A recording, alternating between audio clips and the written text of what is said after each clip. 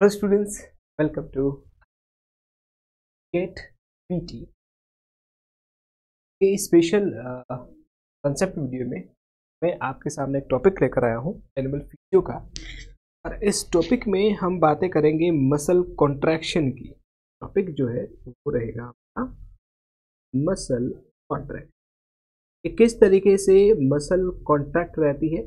Contraction होती है खासकर स्केलेटल मसल में कॉन्ट्रैक्शन तरीके से हमें देखने को मिलता है। इस मसल कॉन्ट्रैक्शन के की मैकेनिज्म क्या रहती है, वो हम इस टॉपिक में, इस सेशन में डिस्कस करने वाले हैं। सबसे पहले आप देखिएगा कि हमारी जो मसल है, उस मसल में एक बहुत ब्रोड सेगमेंट आपको देखने को मिलता है, जिसको आप मसल फेसिकल कहते हैं। तो आप क्या कहेंगे? मसल फेसिकल इस मसल फेसिकल में आप देखिएगा तो कई सारे आपको क्या देखने को मिलेंगे? मसल फाइबर देखने को मिलेंगे। एक मसल फाइबर बना देता हूँ। इस मसल फाइबर में आप देखिएगा तो कई मायोफाइब्रिल आपको देखने को मिलेंगे। एक मायोफाइब्रिल। और ये जो मायोफाइब्रिल है, इस मायोफाइब्रिल पर ही आपको क्या देखने को मिलेंगे? सार्कोमियर देखने मिलेंगे। तो मैंने आपको तीन यूनिट बताई है, जो आपको सबसे पहले यहाँ से ध्यान में रखनी है, आउटर टू इनर, है ना? तीन यूनिट ध्यान रखोगे तो, तो सबसे बड़ी यूनिट आप देखोगे दैट इज़ मसल फेसिकल तो आप क्या कहेंगे? मसल फेसिकल आप कहेंगे। और मसल फेसिकल के बाद में जो उससे लोअर यूनिट आप देखोगे that is muscle fibre that is muscle fibre और जब से सबसे लोवेस्ट यूनिट जहाँ एक्चुअल मसल कॉन्ट्रैक्शन हैपन होता है उसको आप क्या कहेंगे? मायोफाइब्रिल मायोफाइब्रिल और इसी मायोफाइब्रिल पर आप देखिएगा, आपको देखने को मिल जाएँगे सार्कोमियर इसी पर आपको क्या देखने को मिल जाएँगे? सार्कोमियर और सार्कोमियर एक्चुअली क्या है? कॉन्ट्रैक्शन यूनिट है। एक्चुअली कॉन्ट्रैक्ट होती है यूनिट को हम क्या कह देते हैं? सार्कोमियर कह देते हैं। और यही सार्कोमियर थिन प्रोटीन और थिक प्रोटीन से मिलकर बना हुआ होता है। इस सार्कोमियर की स्ट्रक्चर हम देखेंगे तो कुछ इस तरीके से हमें एक जेड लाइन देखने को मिलेगी। और इस जेड लाइन के साथ एसोसिएट थिन फिलामेंट और थिक फिलामेंट आपको देखने को मिल जाएँगे। जहाँ आप देखेंगे, एक टाइटिन प्रोटीन से आपके पास थिक फिलामेंट जुड़े रहेंगे, जिसके कई सारे ग्लोबुलर हेड आपको देखने को मिल जाएँगे। ग्लोबुलर हेड आपको देखने को मिल जाएँगे। ना? ये ग्लोबुलर हेड है स्ट्रक्चरल बेसिस है। और इन्हीं के बीच में आप देखोगे तो आपको एक तीन जो थिन फिलामेंट है, वो भी देखने को मिल जाएगा।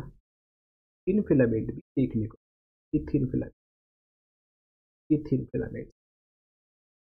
जो थिन फिलामेंट है, ये बने होते हैं एक्टीन के।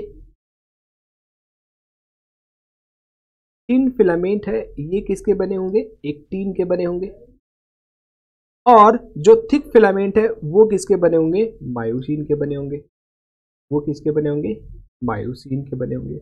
और थिक फिलामेंट और थिन फिलामेंट का जो अरेंजमेंट है, दो जेड लाइन के बीच का अरेंजमेंट है। अगर आपको सार्कोमियर की लेंथ पूछी जाए तो दो जेड लाइन के बीच का डिस्टेंस क्या कहला जाता है? जेड लाइन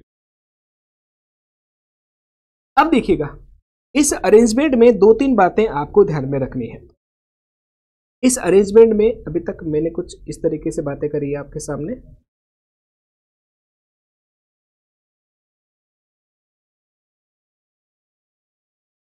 और इसमें हमने देखा है जैसे मान लीजिए कि एक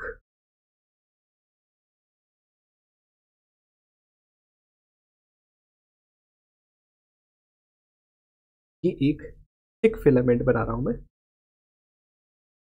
ये थिक फिलामेंट बना रहा हूँ। ग्लोबुलर हेड है इसका, मायोसिन का बना हुआ है। और इसके पैरेलली आप देखेंगे तो आपको थिन फिलामेंट भी देखने को मिल जाएँगे। अब देखिएगा, इस एक सार्कोमियर में ये जेड लाइन है, ये जेड लाइन है। और इस जेड लाइन के बीच में आप देखोगे तो तीन तरीके के बेंड देखने को मिलेंगे। एक आपको आई बेंड देखने को मिलेगा, जहाँ सिर्फ़ आपको ओनली एक तीन बेंड ही देखने को मिलता है इसको आप आइसो मेट्रिक बेंड भी कह सकते हैं। इसको आइसोमेट्रिक बेंड भी कह सकते हैं कि मैं कहूँ ये सिर्फ़ ये वाली जगह है है ना? ये वाला पोर्शन जो है, ये आई बेंड कहला दिया जाए ऐसे ही ए बेंड आपको ए बेंड भी देखने को मिल जाएगा, जहाँ आपके पास एक्टीन भी इन्वॉल्व रहती है और मायोसिन भी इन्वॉल्व रहती है। मतलब थिक फिलामेंट थिन फिलामेंट दोनों देखने को मिल जाएँगे। इसको आप एन आइसोमेट्रिक कह सकते हैं। एन आइसोमेट्रिक कह सकते हैं।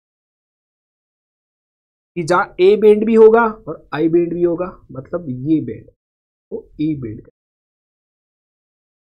फिर इसी रिफॉर्म में आपको एक सिचुएशन ऐसी भी देखने को मिल जाएगी जहाँ सिर्फ़ और सिर्फ़ आपको एच बेंड ही देखने को मिलेगा। और एच बेंड का मतलब क्या होगा? सिर्फ़ और सिर्फ़ मायोसिन ये बात आपको सबसे पहले आई बेंड का मतलब ओनली मायोसिन आइसोमेट्रिक बेंड भी इसको कह देते हैं। ए का मतलब एक्टिन और मायोसिन तो आइसोमेट्रिक भी कहते हैं। एच का मतलब ओनली मायोसिन भी कह सकते हैं। अब जब मसल कॉन्ट्रेक्शन होता है व्हेन मसल कॉन्ट्रैक्शन हैपन तो उस दौरान आप देखोगे तो सार्कोमियर की लेंथ रिड्यूस हो जाती है। उस दौरान आप देखेंगे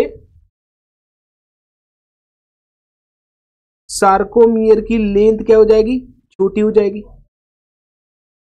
और सार्कोमियर की लेंथ छोटी हो जाएगी तो जो एच बेंड है, उसकी लेंथ भी आपको छोटी देखने को मिलेगी।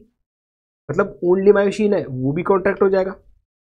ऐसे ही जो आई बेंड है, जहाँ ओनली एक्टिन है, वो भी क्या हो जाएगा? वो भी रिड्यूस हो जाएगा। लेकिन जो ए बैंड है, जहाँ एक्टिन और मायोसिन दोनों है, उसमें किसी तरीके का कोई चेंज नहीं आएगा। कोई चेंज आपको देखने को नहीं मिलेगा। सिमिलर कंडीशन में जब मसल रिलैक्स होगी, जब मसल रिलैक्स होगी व्हेन मसल रिलैक्स्ड उस कंडीशन में आप देखिएगा कि फिर से सार्कोमियर लेंथ वापस अपनी नॉर्मल पोजीशन में आ जाएगी। सार्कोमियर लेंथ अपनी नॉर्मल पोजीशन में। एच बेंड फिर से अपनी नॉर्मल पोजीशन में। आई बेंड फिर से अपनी नॉर्मल पोजीशन में। लेकिन ए बेंड अभी भी ऐसा बेंड होगा जिसमें किसी प्रकार का कोई भी चेंज नहीं होगा। तो कहने की बात, जब कभी भी मसल कॉन्ट्रेक्शन होगा तो ए बेंड आपके पास ऐसा होगा एनाइसोट्रोपिक बेंड एनाइसोमेट्रिक बेंड जहाँ एक्टिनोमाइसिन दोनों इन्वॉल्व है, उन दोनों ही इन्वॉल्वमेंट में आप देखिएगा, कुछ कोई चेंज नहीं आएगा। अब ये कॉन्ट्रेक्शन होगा कैसे, इसके पीछे थोड़ा सा मैं लेकर चलता हूँ आपको। इस तरीके से मायोसिन हेड जो ग्लोबुलर हेड होता है, वहाँ एटीपीएज एक्टिविटी होती है, उसकी थोड़ी सी चर्चा करता हूँ ना? तो अगर मान लीजिए कि ये मायोसिन की स्ट्रक्चर है इस मायोशीन में आपके पास यहाँ ग्लोबुलर एक्टीन प्रोटीन है ये एक्टीन प्रोटीन जुड़ी हुई है और इस एक्टीन प्रोटीन के चारों तरफ़ आप देखिएगा तो एक और प्रोटीन जुड़ी रहती है एक और प्रोटीन जुड़ी रहती है तो कुछ इस तरीके से इसको लपेटे हुए हाँ, लपेटे हुए आपको देखने को मिल जाती है। और मायोसिन इंटरेक्टिंग साइट इस पर आपको देखने को मिल जाती है। लेकिन ये मायोसिन इंटरेक्टिंग साइट किससे जुड़ी रहती है? ट्रोपोमायोसिन से। एक्टीन, ये क्या आपके पास? एक्टीन फिलामेंट है। और इस एक्टीन फिलामेंट पर आप देखेंगे तो आपको ट्रोपोमायोसिन की लेयर देखने को मिल जाएगी। ट्रोपोमायोसिन इसको कवर्ड करके रखती है। और इस ट्रोपोमायोसिन को भी स्टेबलाइज करके रखती है एक और प्रोटीन जिसको कहा जाता है ट्रोपोनिन। जिसको आप क्या कहेंगे? ट्रोपोनिन। ये ट्रोपोनिन इस ट्रोपोमायोसिन को स्टेबलाइज करके रखती है। जहाँ ट्रोपोनिन की जब बात करेंगे तो ट्रोपोनिन तीन सब यूनिट की बनी होती है। एक सब यूनिट सी सब यूनिट होती है, एक आई सब यूनिट होती है, एक आपके पास डी सब यूनिट होती है। जो सी सब यूनिट होती है, वो कैल्शियम बाइंडिंग सब यूनिट होगी। कैल्शियम बाइंडिंग सब यूनिट होगी। जो आई सब यूनिट होती है, वो इनहिबिटरी सब यूनिट होगी। और जो टी सब यूनिट होगी, वो ट्रोपोमायोसिन इंटरेक्टिव सब यूनिट जब एक्टीन की साइट पर मायोटिन मायोसिन इंटरेक्टिव साइट अवेलेबल नहीं हो रही होती है, तब एक्टीन को कवर करके कौन रखती है? ट्रोपोमायोसिन तो इस ट्रोपोमायोसिन ट्रोपो मायोसिन इंटरेक्टिन सब यूनिट जब मसल कॉन्ट्रैक्ट नहीं हो रखी होती है, तब इस एक्टिन को कौन कवर करके रखती है? यही ट्रोपोमायोसिन कवर करके रखती है। इसी का मतलब इनहिबिटरी सब यूनिट भी आपको यही देखने को मिल जाती है। देखिए, जब हमें कॉन्ट्रैक्शन करना होता है, जब कॉन्ट्रैक्शन करना होता है, उस दौरान जो केल्शियम है, वो आकर कहाँ जुड़ता है? केल्शियम बाइंडिंग साइड की तरफ़। अब केल्शियम कहाँ से है? इसकी कहानी अलग है। लेकिन उससे पहले मैं आपको मायोसिन की स्ट्रक्चर बता देता हूँ। मायोसिन की स्ट्रक्चर आप देखोगे तो कुछ इस तरीके की आपको देखने को मिल जाती है। इस तरीके की स्ट्रक्चर आपको मायोसिन की देखने को मिलेगी।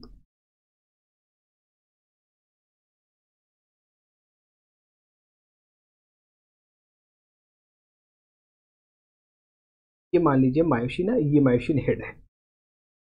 जब मायोसिन की स्ट्रक्चर हम देखते हैं तो मायोसिन के हेड पर आप देखिएगा तो आपके पास दो साइट अवेलेबल रहेगी। मायोसिन की हेड पर हमेशा दो साइट आपको अवेलेबल होती हुई दिखेगी। एक साइट आपको देखने को मिलेगी एटीपीएस साइट तो एटीपीएस साइट कहाँ देखने को मिलेगी? मायोसिन हेड पर। जबकि एक एक्टीन बाइंडिंग साइट भी आपके पास होगी। एक्टीन के साथ मायोसिन इंटरेक्ट करेगी तो एक्टीन इंटरेक्शन साइट भी एक्टीन बाइंडिंग साइट भी आपको यहाँ देखने को मिल जाएगी। तो हमें एग्ज़ाम में पूछा जा सकता है कि एक्टीन बाइंडिंग साइट तो कहाँ देखने को मिलती है? मायोसिन हेड पर देखने को मिलती है। एटीपीएस साइट आपको कहाँ देखने को मिलेगी? एक्टीन बाइंडिंग साइट पर देखने को मिलेगी, है ना? ये इतना पार्ट इसमें आपको तेल के फॉर्म में नज़र आ सकता है। इसके अलावा आपको हीड के फॉर्म में नज़र आ सकता है। हेड भी आपको यहाँ देखने को मिल जाती। है ठीक है? ये बात हुई किसकी? ग्लोब्यू ग्लोबुलर हेड की बातें हुई, जिसमें हमने एक्टीन फिलामेंट और मायोसिन फिलामेंट की बातें करी। अब मसल कॉन्ट्रैक्शन के दौरान क्या होता है? वो चीज़ें थोड़ी सी हम देखते हैं। जब मसल कॉन्ट्रैक्शन हो रहा होता है जब मसल कॉन्ट्रैक्शन हो रहा है या तो यह मैं थोड़ा सा आगे बात कर लेता हूँ कि जब कैल्शियम बाइंडिंग के साथ मायोसिन इंट्रैक्शन होती है है ना? अगर मैं कॉन्ट्रैक्शन की बात कर रहा हूँ कि जब कैल्शियम बाइंड होगी कैल्शियम सबसे पहले, जब हम देखते हैं, मसल कॉन्ट्रैक्शन होता है तो कैल्शियम क्या करेगी? प्रोपोनिन के साथ बाइंड होगी। कैल्शियम बाइंड होगी प्रोपोनिन के साथ। और ट्रोपोनिन की भी कौन सी? सब यूनिट के पास। प्रोपोनिन सी की सब यूनिट के साथ जैसे ही कैल्शियम इंटरेक्ट करेगी प्रोपोनिन वहाँ से डिसोशिएट हो जाएगी।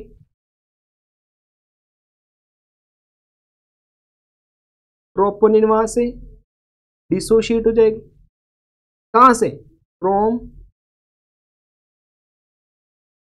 ट्रोपोमायोसिन से। और ट्रोपोमाइसिन से ट्रोपोनिन अलग हुई तो ट्रोपोमाइसिन डिस्टेबलाइज हो जाएगी। ट्रोपोमाइसिन डिस्टेबलाइज हो जाएगी। ट्रोपोमाइसिन डिस्टेबलाइज हो जाएगी। तो मायोसिन हेड पर एक्टीन इंटरेक्टिंग साइट वो एक्सपोज हो जाएगी या एक्टीन पर मायोसिन इंटरेक्शन साइट एक्सपोज हो जाएगी। Actin interacting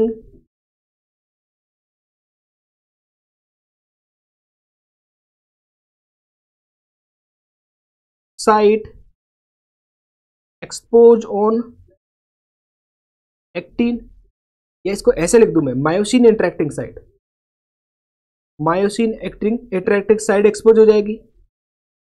एक्टिन मायोसिन के साथ क्रॉस ब्रिज बनेगा। क्रॉस ब्रिज साइकिल स्टार्ट और क्रॉस ब्रिज साइकिल स्टार्ट होगी तो सार्कोमियर की लेन छोटी हो जाएगी। और सार्कोमियर की लेन छोटी होगी सार्कोमियर की लेन छोटी होगी तो हमें क्या देखने को मिल जाएगा? मसल कॉन्ट्रैक्शन देखने को मिल जाएगा। मसल कॉन्ट्रैक्शन देखने को मिल जाएगा। तो किस तरीके से हमने देखा कि एक्टिन और माइसिन जो फिलामेंट है, उनका अरेंजमेंट रहता है? एक्टिन की स्ट्रक्चर में कौन कौन सी प्रोटीन एसोशिएट होती है? माइसिन की स्ट्रक्चर में कौन कौन सी प्रोटीन एसोशिएट होती है? किस तरीके से एक्टिन और माइसिन इंटरैक्ट करती है? कैल्शियम बाइंडिंग से किस तरीके से ट्रोपोनिन सी यूनिट से इनिबिटरी सब यूनिट डिस्टेबलाइज हो जाती है? ट्रोपोनिन डिसोशिएट हो जाती है। ट्रोपोमायोसिन से तो ट्रोपोनिन डिसोशिएट हो जाती है। ट्रोपोनिन डिसोशिएट होने से मायोसिन एट्रैक्टिन साइट एक्टिव हो जाती है। उसमें इसका फॉर्मेशन होता है। सार्कोमियर लेंथ कम होती है और मसल कॉन्ट्रेक्शन ठीक है? आज की चीज़